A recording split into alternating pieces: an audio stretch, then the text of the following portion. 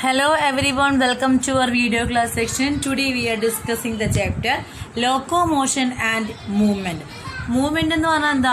ഒരു basic feature ആണ് അല്ലെ? ലിവിങ് ഓർഗാനിസത്തിന്റെ ഒരു ബേസിക് ഫീച്ചർ ആണ് എന്ത്? മൂവ്മെന്റ് എന്ന് പറയുന്നത് അല്ലെ? അപ്പൊ നമുക്കറിയാം ഒരുപാട് വോളണ്ടറി മൂവ്മെന്റ്സ് ഉണ്ട് അതുപോലെ തന്നെ ഇൻവോളണ്ടറി മൂവ്മെന്റ്സ് ഉണ്ട്. അപ്പൊ വോളണ്ടറി മൂവ്മെന്റ്സ് ആണ് എന്ത്? Voluntary movements resulting in change of place നമ്മൾ ഒരു സ്ഥലത്ത് നിന്ന് മറ്റൊരു സ്ഥലത്തേക്ക് മൂവ് ചെയ്യുക അല്ലെ? അതാണ് എന്ത്? നമ്മുടെ ലോക്കോമോഷൻ വിളിക്കുന്നത്. അപ്പൊ മൂവ്മെന്റ് എന്ന് പറഞ്ഞാൽ ആ ഒരു ബേസിക് ഫീച്ചർ ആണ് നമുക്കറിയാം. ആ മൂവ്മെന്റ് പലതരത്തിലുണ്ട്. ആ മൂവ്മെന്റിൽ തന്നെ നമ്മൾ പ്ലേസ് ചേഞ്ച് ചെയ്യുകയാണെങ്കിൽ അതിന് വിളിക്കുന്ന പേരാണ് എന്ത്? ലോക്കോമോഷൻ ഓക്കെ അപ്പൊ നമ്മൾ ഈ ചാപ്റ്റർ ഡിസ്കസ് ചെയ്യുന്നത് അങ്ങനെ ലോക്കോമോഷൻ അതല്ലെങ്കിൽ മൂവ്മെന്റ് ഉണ്ടാക്കാൻ നമ്മുടെ ബോഡിയിൽ സഹായിക്കുന്ന മസിൽസ് അതല്ലെങ്കിൽ അതിന്റെ വർക്കിങ്സ് നമ്മുടെ സ്കെൽട്ടൽ സിസ്റ്റം ഒക്കെ ഇതിനാണ് നമ്മൾ ഈ ചാപ്റ്ററിൽ നമ്മൾ ഇന്ന് ഡിസ്കസ് ചെയ്യുന്നത്. ക്ലിയർ അപ്പൊ നമുക്ക് ഫസ്റ്റ് നോക്കാം. നമ്മുടെ ബോഡിയിൽ നടക്കുന്ന മൂവ്മെന്റ് എങ്ങനെയൊക്കെയുള്ളതാണ്. നമ്മുടെ ബോഡിയിൽ മെയിൻ ആയിട്ടും നാല് തരത്തിലുള്ള മൂവ്മെന്റ് നടക്കും. Amoeboid movement ciliary movement flagellar movement muscular movement amoeboid movement എന്ന് പറയണമെങ്കിൽ നമ്മുടെ ബോഡിയിൽ സ്പെഷ്യലൈസ്ഡ് സെൽസുകളായിട്ടുള്ള മാക്രോഫേജുകൾ ല്യൂക്കോസൈറ്റ് ഫാഗോസൈറ്റ് ഓക്കെ ഇവരുടെ മൂവ്മെന്റ് ഉണ്ട്. അവരുടെ എന്താ പറയുക ഒരു പ്രത്യേക തരത്തിലുള്ള നമ്മുടെ അമീബ എങ്ങനെയാണ് മൂവ് ചെയ്യുന്നത് നമുക്കറിയാം അല്ലെ? അതുപോലത്തെ മൂവ്മെന്റ് ആണ് ഈ മാക്രോഫേജിനും അതുപോലെ തന്നെ ല്യൂക്കോസൈറ്റ്സ് ഫാഗോസൈറ്റ്സിനും ഒക്കെ. ഓക്കെ അത്തരത്തിലുള്ള മൂവ്മെന്റ് ആണ് അമീബോയിഡ് മൂവ്മെന്റ് നെക്സ്റ്റ് എന്താ? സീലിയറി മൂവ്മെന്റ് സീലിയറി മൂവ്മെന്റ് എന്ന് പറഞ്ഞെങ്കിൽ നമുക്കറിയാം നമ്മുടെ ബോഡിയിൽ respiratory tract gastro industrial tract അതുപോലെ തന്നെ G urinary tract reproductive tract അവിടേക്ക് എന്ത് കാണാം? നമുക്ക് സീലിയ കാണാം അല്ലെ? ആ സീലിയ ഉപയോഗിച്ചുള്ള മൂവ്മെന്റ് ആണ്. The type of movement occurs in most of our internal tubular organs light by a cellular means ciliated epithelium cilia ഉള്ള എപ്പിത്തീലിയ സർഫസിൽ ഉണ്ടാവുന്ന മൂവ്മെന്റ് ആണ് എന്ത്? സീലിയറി മൂവ്മെന്റ് എന്ന് പറയുന്നത്. അപ്പൊ മ്യൂക്കസ് എവിടെയാണെങ്കിൽ ആ മ്യൂക്കസിനെ ആ ട്രാൻസ് മാറ്റാൻ വേണ്ടിയിട്ട് ആര് ഹെൽപ്പ് ചെയ്യും? ഈ സീലിയറി മൂവ്മെന്റ് ഹെൽപ്പ് ചെയ്യും. ക്ലിയർ ആയോ? ഇനി ഫ്ലജല്ലാർ മൂവ്മെന്റ് എന്ന് പറഞ്ഞാൽ എന്താ? ഈ സീലിയത്തിന്റെ സീലിയ എന്നുണ്ടെങ്കിൽ അതിന്റെ ഒരു എൻലാർജ് വേർഷനാണ് ആര്? ഫ്ലജൽ എന്ന് പറയുന്നത്. അപ്പൊ ഹ്യൂമൻ സ്പേംസിലൊക്കെ ആ മൂവ്മെന്റ് നടക്കുന്നത് ഫ്ലജല്ലാർ മൂവ്മെന്റ് ആണ്. അടുത്തതാണ് നമ്മുടെ ലാസ്റ്റ് വൺ അല്ലെങ്കിൽ ഇമ്പോർട്ടന്റ് വൺ എന്ന് പറയുന്നത് മസ്കുലർ മൂവ്മെന്റ് അല്ലേ അപ്പോൾ മസ്കുലർ മൂവ്മെന്റ് എന്ന് പറയുന്നത് നമ്മുടെ വെർട്ടിബ്രേറ്റയുടെ കേസിലൊക്കെ മസ്കുലർ മൂവ്മെന്റ് നടക്കുന്നത് നമുക്കറിയാം. അതായത് നമ്മുടെ ആ മസിൽ സെൽസുകൾ അതായത് കൺട്രാക്ഷൻ നടക്കും അതുപോലെ തന്നെ റിലാക്സേഷൻ നടക്കും. അതുപോലെ അതുകൊണ്ട് തന്നെ മെജോറിറ്റി ഓഫ് ദ സെല്ലർ ഓർഗൻസിന്റെ കേസിലും ആ മൂവ്മെന്റ് നടക്കുന്നത് എങ്ങനെയായിരിക്കും? മസ്കുലർ മൂവ്മെന്റ് ആയിരിക്കും. So these are the four types of movement one is amoeboid movement second one amoeboid movement എന്ന് പറയുകയാണെങ്കിൽ നമ്മുടെ മാക്രോഫൈജും ഗ്ലൂക്കോസൈഡ്സ് ഒക്കെ പോലെ നമ്മുടെ internal cells okay next ciliary movement third one flagellar movement and fourth one is muscular movement clear ആണല്ലേ? നമുക്ക് next നോക്കി നോക്കാം എന്താണ്? ടൈപ്സ് ഓഫ് മസിൽസ് അപ്പോൾ മസിൽ എന്ന് പറഞ്ഞിട്ടുണ്ടെങ്കിൽ സ്പെഷ്യലൈസ്ഡ് ആയിട്ടുള്ള സ്പെഷ്യലൈസ്ഡ് ടിഷ്യൂ ആണ് അല്ലേ? എന്ത്? മീസോഡെർമൽ ഒറിജിൻ മീസോഡം നമുക്കറിയാം എക്ടോഡം എൻഡോഡം മീസോഡം അല്ലെ? അതിലെ ആ മീസോഡേമൽ ഒറിജിൻ ആയിട്ടുള്ള സ്പെഷ്യലൈസ്ഡ് ടിഷ്യൂസ് ആണ് എന്ത്? നമ്മളുടെ മസിൽ എന്ന് വിളിക്കുന്നത് അല്ലേ? അപ്പോൾ ഈ മസിലിന്റെ അകത്ത് ഈ മസിലിന് അതിന്റെ എന്തുണ്ട് പ്രോപ്പർട്ടീസ് ഉണ്ട്. എക്സൈറ്റബിലിറ്റി കൺട്രാക്ടിലിറ്റി എക്സ്റ്റെൻസിബിലിറ്റി ഇലാസ്റ്റിസിറ്റി ഇത് ഈ നാലെണ്ണം ഉണ്ടെങ്കിലാണ് അതിനെ മൂവ് ചെയ്യാൻ പറ്റുക അല്ലെ? അപ്പൊ ഈ എക്സൈറ്റബിലിറ്റി എന്ന് പറഞ്ഞാൽ എന്താ? Capacity of muscles to respond to stimulation by nerves and hormones അതിനോട് പ്രതികരിക്കാനുള്ള കഴിവ് അല്ലെ? അതാണ് എന്ത്? എക്സൈറ്റബിലിറ്റി എന്ന് പറയുന്നത്. ഇനി കൺട്രാക്ടിലിറ്റി എന്ന് പറഞ്ഞാൽ എന്താ? നമുക്കറിയാം മസിൽസ് കൺട്രാക്ട് അത് ഷോർട്ടൺ ചെയ്യും അല്ലെ? ഫോഴ്സ്ഫുൾ ആയിട്ട് ഷോർട്ടൺ ചെയ്യുക. അതാണ് എന്ത്? കൺട്രാക്ടിലിറ്റി ഇനി എക്സ്റ്റെൻസിബിലിറ്റി എന്ന് പറഞ്ഞാൽ എന്താ? Capacity of a muscle to stretch to the normal അല്ലെങ്കിൽ അറസ്റ്റിംഗ് ലെങ്ത്തിലേക്ക് വരിക. അല്ലെ? അതിനെ വിളിക്കുന്ന പേരാണെന്ത് എക്സ്റ്റെൻസിബിലിറ്റി ഇനി ഇലാസ്റ്റിസിറ്റി എന്ന് പറഞ്ഞാൽ എന്താ? Ability of the muscle to recoil its original resting like after it has been stretch അങ്ങനെ സ്ട്രെച്ച് ചെയ്ത് കഴിഞ്ഞിട്ടുണ്ടെങ്കിൽ നേരെ വരാനുള്ള കഴിവാണ് എന്ത്? ഇലാസ്റ്റിസിറ്റി അപ്പൊ ഈ നാലുമാണ് നമ്മളുടെ മസിൽസിന്റെ പ്രോപ്പർട്ടി എന്ന് പറയുന്നത്. ഏതൊക്കെയായിരുന്നു? എക്സൈറ്റബിലിറ്റി കൺട്രാക്ടിലിറ്റി എക്സ്റ്റെൻസിബിലിറ്റി അതുപോലെ തന്നെ ഇലാസ്റ്റിസിറ്റി. മസിൽ എന്ന് പറയുന്നത് എന്താണ്? സ്പെഷ്യലൈസ്ഡ് ആയിട്ടുള്ള ടിഷ്യൂ ആണ് ഒറിജിനേറ്റഡ് ഫ്രം മീസോട്ട് ഓക്കെ അപ്പൊ നമുക്കറിയാം ഈ മസിലിന്റെ അകത്ത് മസിൽ ഉണ്ടാക്കിയിരിക്കുന്നത് കൺട്രാക്റ്റിൽ ഫൈബേഴ്സ് കൊണ്ടാണ്. അത് നമുക്ക് മയോ ഫൈബേഴ്സ് അല്ലെ നമ്മൾ മസിൽ സ്ട്രക്ചർ പഠിക്കുന്ന ക്ലിയർ ആവും നമുക്ക് അത് എങ്ങനെയാണ് മസിൽസ് ഉണ്ടാക്കിയിരിക്കുന്നത് അല്ലെ നമ്മൾ ബോഡി വെയിറ്റ് എടുക്കുകയാണെങ്കിൽ നമ്മുടെ ബോഡി വെയിറ്റിന്റെ ഒരു ഫോർട്ടി ടു ഒരു ഫിഫ്റ്റി പെർസെന്റേജ് എന്താണ് നമ്മുടെ മസിൽസ് ആണ്. ഓക്കെ അപ്പൊ ഈ മസിൽസ് എന്ന് പറയുന്നത് മെയിൻ ആയിട്ട് മൂന്ന് തരത്തിലാണുള്ളത്.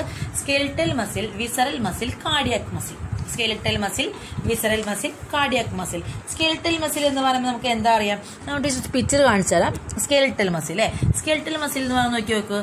അത് നമുക്കിതാ ഇതാണ് സ്കെൽറ്റൽ മസിൽ അല്ലേ അപ്പൊ നമ്മുടെ സ്കെൽറ്റലിൽ കാണുന്ന മസിൽസ് അതായത് നമ്മളുടെ ആ ഫോർ ആം പോർഷനിലില്ലേ നമ്മുടെ കയ്യിലും കാലിലൊക്കെ കാണുന്നത് അല്ലേ അതാണ് എന്ത്? സ്കെൽറ്റൽ മസിൽ എന്ന് പറയുന്നത്. അപ്പൊ നമ്മളൊരു മൈക്രോസ്കോപ്പിക് വ്യൂ നോക്കുകയാണെങ്കിൽ സ്കെൽറ്റൽ മസിൽസ് ഒക്കെ എന്താണ്? സ്ട്രൈറ്റഡ് ആണ്. അതായത് അതിന് വരകൾ കാണാം. അതാണ് സ്ട്രൈറ്റഡ് മസിൽ എന്ന് പറയുന്നത്. അതുകൊണ്ട് തന്നെ ഇന്ന് നമുക്കറിയാം നമ്മുടെ കയ്യിലും കാലിലുള്ള മസിൽസ് എന്ന് പറഞ്ഞു. അതുകൊണ്ട് തന്നെ എന്താണ്? വോളണ്ടറി മസിൽസ് ആണ്. സ്കെൽറ്റൽ മസിൽസ് എന്ന് പറയുന്നത് എന്താണ്? വോളണ്ടറി ആയിട്ടുള്ള മസിൽസ് ആണ് സ്കെലറ്ററി മസിൽസ് എന്ന് പറയുന്നത്. ഓക്കെ ഇനി നമ്മൾ ഇതിന്റെ ഫീച്ചർ നമ്മൾ ഈ ടൈപ്സ് ഓഫ് മസിൽസ് എന്ന് പറയുന്നത് നമ്മൾ സ്ട്രക്ചറൽ ഓർഗനൈസേഷൻ ചാപ്റ്ററിൽ ഡിസ്കസ് ചെയ്തതാണ് കേട്ടോ. ഇനി അടുത്ത എന്താണ്? നമ്മളുടെ വിസറൽ മസിൽസ് അല്ലെ? ഈ വിസറൽ മസിൽസ് തന്നെയാണ് നമ്മളുടെ ഈ സ്മൂത്ത് മസിൽ എന്ന് പറയുന്നത്. ഓക്കെ അതായത് അല്ലെങ്കിൽ നമുക്ക് അതിനെ നോൺ സ്ട്രയേറ്റഡ് എന്ന് പറയാം. ഇതിൽ കാണുന്ന പോലെ സ്ട്രയേഷൻസ് എവിടെ കാണില്ല? ഈ നമ്മുടെ സ്മൂത്ത് മസിലിൽ കാണാനായിട്ട് സാധിക്കില്ല. ക്ലിയർ ആണോ? അപ്പോൾ സ്ട്രയേറ്റഡ് മസിൽ അല്ലെങ്കിൽ സ്കെൽറ്റൽ മസിൽ എന്ന് കേൾക്കുമ്പോൾ നമുക്ക് അറിയണം എന്ത്? അവിടെ സ്ട്രയേഷൻസ് പ്രസന്റ് ആണെന്നും. മാത്രമല്ല അതിന്റെ ആ എഡ്ജ് അല്ലെങ്കിൽ അതിന്റെ എൻഡ് എന്ന് പറയുന്നത് അല്ലെ? അതിന്റെ എൻഡ് എങ്ങനെയാണ്? ബ്ലെൻഡ് ആയിട്ടുള്ള എൻഡ് ആണ് അല്ലെ? ഇതിന്റെ ലോങ്ങും സിലിണ്ടറിക്കലുമാണ് മൾട്ടി ന്യൂക്ലിയേറ്റ് ആണ്. നമുക്കത് കാണുമ്പോൾ തന്നെ അറിയാം. എന്താ ഈ ഒരു ലൈൻ എടുക്കുകയാണെങ്കിൽ അതിൽ കുറേ ന്യൂക്ലിയസ് ഇല്ല? അപ്പോൾ അതെന്താണ്? മൾട്ടി ന്യൂക്ലിയേറ്റ് ആണ്. ഓക്കെ അപ്പോൾ അതിനെന്ത് ചെയ്യാനുള്ള? കൺട്രാക്ട് ചെയ്യാൻ വളരെ ഫാസ്റ്റ് ആയിട്ട് കൺട്രാക്ട് ചെയ്യാനുള്ള കഴിവുണ്ട്. മാത്രമല്ല അത് വോളണ്ടറിയും കൂടിയാണ്. ഇനി നമ്മൾ വിസറൽ വിസറൽ മസിൽ അതല്ലെങ്കിൽ സ്മൂത്ത് മസിൽ അതും അല്ലെങ്കിൽ എന്ത് വിളിക്കാം നമുക്ക് അതിനെ നോൺ സ്ട്രൈറ്റഡ് അല്ലെ? ഈ നോൺ സ്ട്രൈറ്റ് നോക്കി നോക്കൂ അതിന്റെ എഡ്ജ് എന്ന് പറയുന്നത് എങ്ങനെയാണ്? പോയിന്റഡ് ആയിട്ടുള്ള എഡ്ജാണ് നമുക്ക് കാണാൻ കഴിയുക അല്ലെ? മാത്രമല്ല ഇതല്ല ഇങ്ങനെ യൂണി ന്യൂക്ലിയസ് ഓരോന്നിലും ഓരോ ന്യൂക്ലിയസ് ആണ്. അപ്പോൾ അതെങ്ങനെയാണ്? യൂണി ന്യൂക്ലിയസ് ആണ്. മാത്രമല്ല അതിൽ എന്ത് കാണാൻ നമുക്ക് അതിലെ സ്ട്രൈപ്സ് അതുകൊണ്ടാണ് അവരെന്ത് വിളിക്കുന്നത് നോൺ സ്ട്രൈറ്റ് എന്ന് വിളിക്കുന്നത്. ക്ലിയർ ആണല്ലോ? അടുത്ത കാടിയാക്ക് കാടിയാക്ക് എന്ന് കേൾക്കുമ്പോൾ തന്നെ നമുക്ക് അറിയാം എന്ത്? അപ്പൊ സ്മൂത്ത് മസിൽസ് എവിടെ കാണാം? ഇന്റേണൽ ഓർഗൻസ് അല്ലെ വിസറൽ ഓർഗൻസിലാണ് സ്മൂത്ത് മസിൽസ് പ്രസന്റ് ആയിട്ടുള്ളത്. സ്മൂത്ത് മസിൽസ് എങ്ങനെയാണ്? വോളണ്ടറി ആണോ? അല്ല. സ്മൂത്ത് മസിൽസ് എങ്ങനെയാണ്? ഇൻവോളണ്ടറി ആണ്. നമ്മളാണോ കൺട്രോൾ ചെയ്യുന്നത്? എലിമെന്റ് അല്ലെങ്കിൽ മൂവ്മെന്റ് ഒക്കെ അല്ലല്ലോ. അപ്പോൾ അത് എന്ത് തന്നെയാണ്? ഇൻവോളണ്ടറി ആണ്. അടുത്ത കാർഡിയാക്ക് കാർഡിയാക്ക് നമുക്ക് അറിയാം. അതെന്താണ്? ഇൻവോളണ്ടറി ആണെന്ന് അറിയാം. കാർഡിയാക്ക് മസ് കാർഡിയാക്ക് എന്ന് പറഞ്ഞാൽ നമുക്ക് അറിയാം. അത് ഹാർട്ടിൽ കാണുന്നതെന്ന് അറിയാം. നിങ്ങൾ നോക്കി നോക്കൂ അതിൽ സ്ട്രയേഷൻസ് ഉണ്ട്. അല്ലെ? മാത്രമല്ല അത് എന്താണ് ജോയിൻഡ് മീൻസ് ബ്രാഞ്ചഡ് ആണ് അല്ലേ? അപ്പോൾ അവിടെ എന്താണ്? സ്ട്രൈപ്സ് ഉണ്ട്. ബ്രാഞ്ചഡ് ആണ്. അത് എങ്ങനെയാണ്? യൂണി ന്യൂക്ലിയേറ്റർ ആണ് അല്ലെ? ഇത് നോക്കി നോക്കുക ഓരോന്നിലും ഓരോ ന്യൂക്ലിയസ് അല്ലേ കാണുന്നത്? അപ്പോൾ അതെന്താണ്? യൂണി ന്യൂക്ലിയേറ്റർ ആണ്. അപ്പോൾ ഇതെന്ന് പറയുന്നത് എങ്ങനെ? ഇങ്ങനെ കൺട്രാക്ഷൻ ഒക്കെ വളരെ സ്പീഡായിട്ട് നടക്കും. ഇല്ല. ഐ മസിൽസ് കാർഡിയാക് മസിൽസ് എന്ന് പറയുന്നത് ഒരിക്കലും എന്താണ്? ഫെട്ടിക്കാണ് മസിൽസ് അല്ല? ഇത് കാർഡിയക് മസിൽസ് എന്ന് പറയുന്നത്. ഓക്കെ അപ്പൊ ഇത്രയുമാണ് ടൈപ്സ് ഓഫ് മസിൽ എന്ന് പറയുന്നത്. ടൈപ്സ് ഓഫ് മസിൽസ് മെയിൻ ആയിട്ട് മൂന്ന് തരത്തിലാണുള്ളത്. ഏതൊക്കെ? Cardiac muscle skeletal muscle smooth muscle cardiac muscle എന്ന് പറഞ്ഞാൽ എവിടെയാണ്? നമ്മുടെ ഹാർട്ട് പോർഷനിലെ അത് സ്ട്രയേറ്റഡ് ആണ് ഇൻവോളണ്ടറി ആണ്. യൂണി ന്യൂക്ലിയേറ്റ് ആണ് doesn't get fatigue okay skeletal muscle വെച്ചിട്ടുണ്ടെങ്കിൽ എന്താണ്? അത് പറയും വോളണ്ടറി മസിൽസ് ആണെന്നറിയാം അതിന് കൺട്രാക്ഷൻ പോസിബിൾ ആണ്. മൾട്ടി ന്യൂക്ലിയേറ്റ് ആണ്. സ്ട്രൈപ്സ് അല്ലെങ്കിൽ സ്ട്രേഷൻസ് കാണാം. അതുകൊണ്ട് തന്നെ അവരുടെ പേര് എന്താണ്? സ്ട്രൈറ്റർ ആണ്. മൾട്ടി ന്യൂക്ലിയേറ്റഡ് ആണ്. ഓക്കെ ഇനി അത് ഫെട്ടിക് ആവില്ലേ നമുക്ക് കയ്യും കാലൊക്കെ കുറച്ച് നേരം നമ്മൾ എന്തെങ്കിലും വിഗ്രസ് ആക്ടിവിറ്റി ചെയ്ത് കഴിഞ്ഞിട്ടുണ്ടെങ്കിൽ നമുക്ക് എന്തോ ക്ഷീണം വരും. അപ്പോൾ അതെന്താണ്? ഫെട്ടിക് ആണ്. ഇനി സ്മൂത്ത് മസിൽ എന്ന് പറഞ്ഞിട്ടുണ്ടെങ്കിൽ അതെന്താണ്? അത് പോയിന്റ് ആയിട്ടുള്ള എഡ്ജുകളാണ് അതും യൂണി ന്യൂക്ലിയേറ്റ് ആണ്. പിന്നെ എന്താണ്? അതിൽ എന്ത് കാണാൻ പറ്റില്ല നമുക്ക്? സ്ട്രൈപ്സ് അതല്ലെങ്കിൽ സ്ട്രയേഷൻസ് കാണാനായിട്ട് സാധിക്കില്ല. ക്ലിയർ ആണോ? നെക്സ്റ്റ് നമ്മൾ ഡിസ്കസ് ചെയ്യുന്നത് structure of skeletal muscle skeletal muscle ഇത് എടുക്കുകയാണെങ്കിൽ നമുക്ക് എങ്ങനെ വെക്കാം അതിന്റെ പാർട്സ് അല്ലെങ്കിൽ എങ്ങനെ വെക്കാൻ അതിന്റെ അറേഞ്ച്മെന്റ് ഒന്ന് നോക്കി നോക്കാം അല്ലേ? അപ്പോൾ നമുക്ക് ഇവിടെ പഠിക്കാനുള്ളത് ലോക്കോമോഷൻ മൂവ്മെന്റ് അല്ലേ? അപ്പോൾ നമുക്ക് എന്താ പഠിക്കാനുള്ളത്? സ്കെൽട്ടൽ മസിലിനെ പറ്റിയാണ് പഠിക്കാനുള്ളത്. അപ്പോൾ സ്കെൽട്ടൽ മസിൽ എന്ന് പറഞ്ഞാൽ എന്താ? അത് ഉണ്ടാക്കിയിരിക്കുന്നത് ഇലോങ്ങേറ്റർ ആയിട്ടുള്ള മൾട്ടി ന്യൂക്ലിയർ കൺട്രാക്ടിയൽ സെൽസുകൾ കൊണ്ടാണ് അല്ലേ?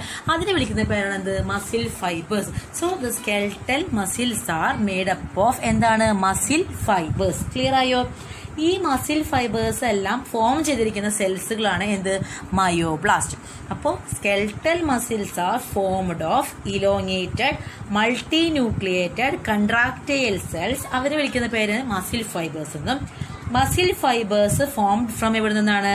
Myoblast okay the nucleus undergo repeated division resulting അതായത് ഈ മസിൽ ഫൈബേഴ്സിന്റെ ന്യൂക്ലിയസ് എന്ന് പറയുന്നത് റിപ്പീറ്റഡ് ആയിട്ട് ഡിവിഷൻ എടുക്കും. ഓക്കെ അതിന് വിളിക്കുന്ന പേരാണ് സിൻഷ്യം എന്ന് പറയുന്നത്. ഇനി എന്താണ്? നമ്മളുടെ ആ മസിൽ ഫൈബർ എടുക്കുകയാണെങ്കിൽ ആ മസിൽ ഫൈബറിനെ സറൗണ്ട് ചെയ്തിട്ട് അല്ലേ ഒരു fibres connective tissue surrounding individual muscle fibre നമ്മൾ ഓരോ മസിൽ ഫൈബർ എടുക്കുകയാണെങ്കിൽ ആ ഇൻഡിവിജ്വൽ മസിൽ ഫൈബറിനെ കണക്ട് ചെയ്തിരിക്കുന്ന അല്ലെങ്കിൽ കവർ ചെയ്തിരിക്കുന്ന ആ ലെയർ ആണ് എന്ത്? എൻഡോമൈസിയം ഓക്കെ അങ്ങനെ ഒരുപാട് മസിൽ ഫൈബേഴ്സ് ചേർന്ന് കഴിഞ്ഞാൽ അതിന്റെ പേരെന്താണ്? ഫാസിക്കുലൈ അതല്ലെങ്കിൽ ഫാസിക്കിൾസ് അപ്പൊ അതിനെ കവർ ചെയ്തിട്ട് എന്തുണ്ട് അവിടെ? പെരി മൈസിയം ക്ലിയർ ആണോ? പിന്നെ മൊത്തം മസിലിന് കവർ ചെയ്തിട്ടുണ്ട് അവിടെ പി മൈസിയം എന്ന് പറഞ്ഞ ഒരു കൊളാജിനസ് ഷീറ്റ് ഉണ്ട്. ഓക്കെ അപ്പൊ ഇത്രയും പോർഷൻ നമുക്ക് ഡയഗ്രാം വെച്ച് ഒന്നും കൂടി ഒന്ന് നോക്കാം.